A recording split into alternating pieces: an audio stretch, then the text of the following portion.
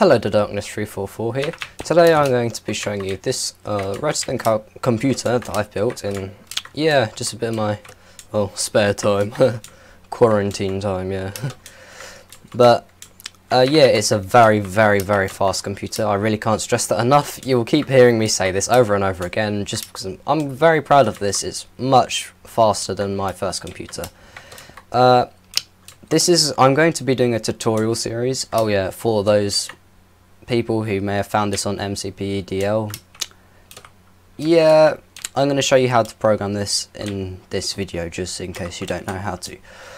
But yeah, I'm going to be doing, maybe, be doing a tutorial series on this, on how to build it, because, yeah, it's big, but it's quite a simple computer when you come down to it, because look, it's just a ROM display, display, uh, program, program counter, RAM and ALU and your input output panel. That's pretty much all it is. The only hard thing about this is wiring it all up, like making sure every component works together. But guess what? Since it's a tutorial, I'll be doing it for you, so have fun while I struggle to replicate this again. Uh, one thing that I may do different in the tutorial is this RAM. I might flip round this way instead, but most likely not because I also built an extra RAM cell here, which by mistake, so that is not going to be used. So yeah, yeah, for those MCPEDL people, because I will most likely be uploading this to MCPEDL. Yeah, I can't even say it now.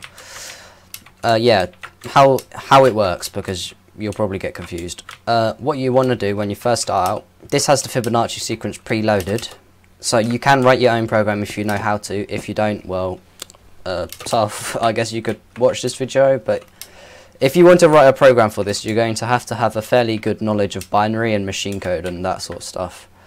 And you may be able to learn from some of my tutorials and stuff, so yeah, like and subscribe. Oh yeah. So, to, for this to work, what you're first going to do is make sure everything's reset by hitting all the reset buttons. So first of all, you're going to want to reset, make sure this is up, you hit reset program, uh, reset RAM, uh, clear ALU and then update display. Yeah, try and make it in that sort of order.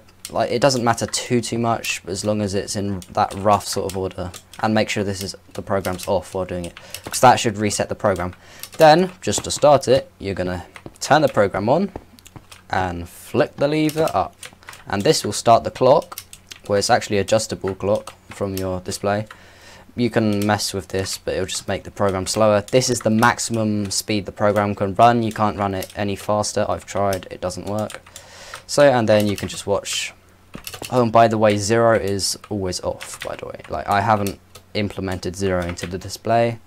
Well, I have, but I mean, I've turned it off. I'll show you that in a minute. So the Fibonacci sequence goes 0, 1, 1, 2, 3, 5, 8, uh, 13, and then since this is only a 4-bit calculator computer even, I keep saying calculator, uh, it will end at 13 because it can't do any more. Well, it won't end, it'll just stop working and you'll have some weird random numbers because the carry line will goes nowhere, so yeah. But it's a pretty nice count, as you can see, 13, then it should go to some random number after that, uh, as you can see. But it's it's a quite and then you can turn it off and then reset it all again. You don't exactly need to clear the ALU, it's just better if you do just in case. So, so yeah, when you first log in, I would recommend clearing the ALU just in case, because sometimes it broke on one of my videos once for some really, really bizarre reason. But yeah, if you want to program this, all you have to do is come down to this line and then put redstone torches here, or like on the program lines.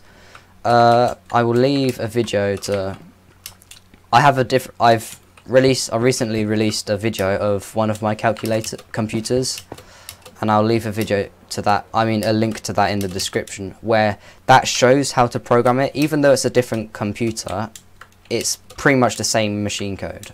So you should be able to do that.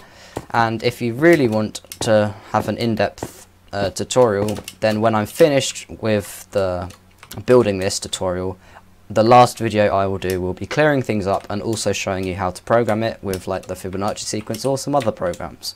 And yeah, so stay tuned for that. But yeah, so for the viewers, for like my subscribers and my viewers, yeah, we're going to be building this computer. Uh, some basic specs. It has one, two, three. Well, not a big clock. You can adjust it and stuff. Clock speed doesn't matter too much. It's better if it's faster, but that doesn't really mean a whole lot in computing. Uh, yeah, this is the max. You can clock it here. So, base clock is here, and you can even overclock it here if you really want but this program will not work any faster.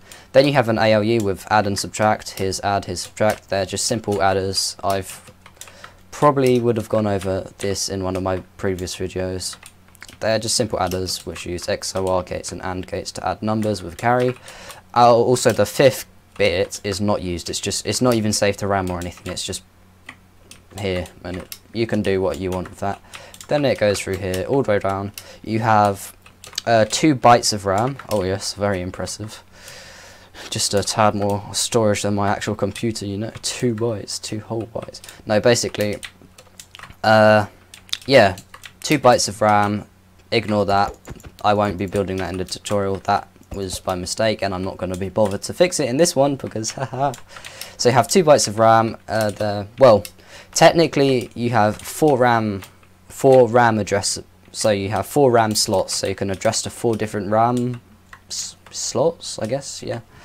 And each one of these RAM slots, I'm just going to call them slots now, uh, has a nibble of storage, which is for 4 bits, if you really want to get technical. Then you have your main data line, which goes back right in to your program uh, counter and your program line. So, this is a very big program line. It has 16 lines of code, uh, all fully addressable, lines of code where you can even say, oh hang on, I want to loop back to line 1. You can do that if you want. You can loop it, you can repeat the program, you can say, oh, I want to, instead of going 1, 2, 3, 4, I want it to go 1, 2, 3, 7 instead. Like, You can address it to any way possible. Then you have the display. This is just a simple ROM display, which only the one is linked up on this side. I haven't linked up zero because I couldn't be bothered. And zero is on here. As you can see, you can turn zero on or off, which is quite useful because if you update this, let's just reset the program and clear. Actually, no, we need to update display. Uh, as you can see, it's blank. So technically, oh look, it's off. But no, since blank is zero, you can turn zero on if you really want zero to be displayed. I'll include this in the tutorial and it's just a simple 15, no 16 different things because you have to include zero as well. You don't need to include it but it's nice to have it. Then you have your relays, registers even, you have register here and you have your RAM register, I mean your ALU registers and they work pretty simple. Whatever number you put in it just updates it whenever you say I want to load a number to this ALU.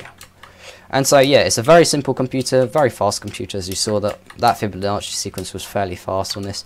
And guess what, it's on Bedrock Edition. Fun. So Java players, you're going to have to make some modifications to it. Modifications are these pistons, because these pistons are kind of like control the data. You could probably re replace them with redstone torches if you're clever enough. But for the Bedrock players, I'm just going to be showing with the pistons because yeah, I like Bedrock Edition more than Java. Really don't ask me why, but one of the features of Bedrock Edition, Java players, can you just hold down your mouse and do that? Haha, no you can't. Much easier to place redstone. Yeah, I know it's limited with pistons and such, but oh well. It's pretty cool. So yeah, this tutorial will basically cover this program, count this count computer even. I'll show you how to make this computer. It'll be cool and I'll also show you how to program it so you're like you're not just left with oh I built a computer. Now what do I do? Hmm uh, not a whole lot. Because you because you don't know how to program it. But yeah I will show you how to program it because it uses my own take on machine code so which is pretty cool.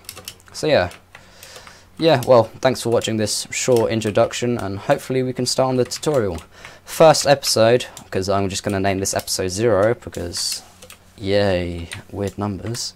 First episode we're doing, I will be covering this ALU, how to build it, and also the registers. Then after that I'll be covering that, but yeah, enough said. Please like and subscribe, and yeah, I'm out.